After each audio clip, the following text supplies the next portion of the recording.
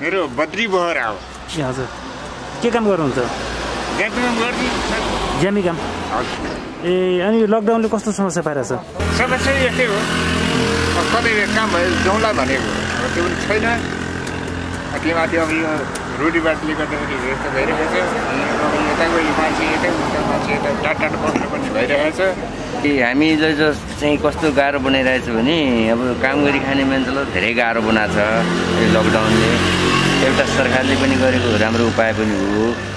अब त्यो कारणले गर्दाखेरि त्यो यस नियम पनि पालना गर्नुपर्ने हो। हाम्रो कर्मचारीहरू पुलिसदेखि लिएर हाम्रो सबै यहाँको सबै छन् नि। जस्तो व्यक्ति त्यो मान्छेहरूले नि गर्नु राम्रो हो। तर यो कारणले गर्दाखेरि चाहिँ यो तल्लो वर्गको काम काम गरी खाने मान्छेलाई त धेरै गाह्रो भएछ। अब यस्तोमा यो राहतहरू पाउनु भएको छ कि छैन? स्थानीय तहले दिने रात अ, दिन त भएको छ स्थानीय तहले यो वडा वडामा दिएको थियो। अब तिन किलो चार किलो पाँच किलो दिनुभएको छ। अब हेर्नुहोस् त्यो खानुलाई परिवार भएको धेरै गाह्रो छ पुग्दैन। नपुगेको कारणले फेरि दोस्रोपल्ट पनि दिँदैन अब त्यो भएको छ कारण त्यही हो। म पवन राणा मगर लगनखेल समाज। कसरी व्यवस्थापन गर्नु भएको छ? कतिजनालाई दैनिक खाना खुवाउनुहुन्छ? हामीहरूले अहिले दैनिक अस्ति उनासीजनाहरूलाई लगभग हामीले सत्तरीजनालाई चाहिँ नि उसमा एभरेजमा हामीले खुवाइरहेछ दैनिक? दैनिक खुवाइरहेछ ए हजुर। अब यसमा पनि अलिकति अब उसबाट कोहीले चाहिँ खुवाउनु हुँदैन भन्ने कोहीले के भन्ने भन्ने कुराहरू आइरहेको छ होइन? त्यही पनि हामीले पुलिससँग र वडाहरूसँग सोधेर समन्वय गरेर हामीले चाहिँ अहिले खुवाइरहेको छौँ। ए हजुर। कसरी व्यवस्थापन गर्नु भएको छ खानेकुरा अहिले यो चाहिँ हाम्रो लगनखेल समाजको सम्पूर्ण साथीहरूबाट चाहिँ पकेट मनीबाट हामीले चाहिँ अब कहिले पाँच सय कहिले हजार यसरी झिकेर कन्ट्रिब्युसन गरेर हामीले गरेको। ए हजुर। कति हुनुहुन्छ तपाईँको सदस्य? कति हुन्छ? हामीहरूको लगभग दुई सय तिन सयजना छ।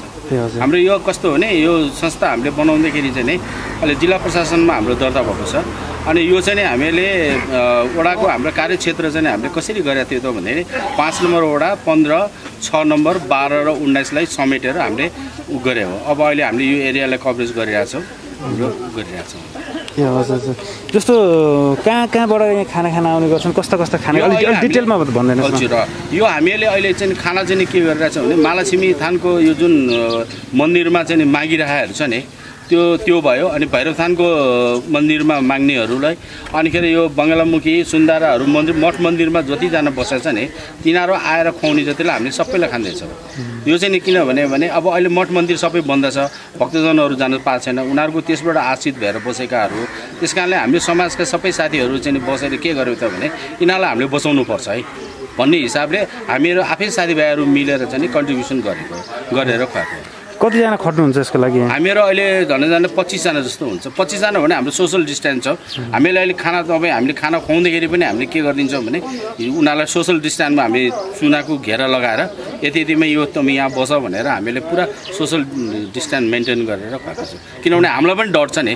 हामी सेवा गर्ने भन्दाखेरि हामीलाई पनि उनीहरूको रोल सर्नु सक्छ भन्ने डरले त्यसलाई पुरा हामीले मेन्टेन गरेको छौँ हामी हजुर। यो एक छाक हो कि दुई छाक खुवाउनुहुन्छ? हामीले अहिले के भयो भने अहिले हामीले एक छाक खुवाउँछौँ हामी।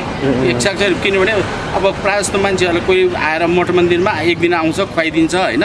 ऊ गर्छ भन्दाखेरि त्यसरी भन्दा पनि बडो हामीले बाह्र एक बजेको बिचमा खुवाउँदाखेरि के हुन्छ भने बिहान र बेलुका पनि हुन्छ। अनि त्यो बेलुका अरू कोही आएर खुवाउनेहरू पनि हुन्छ।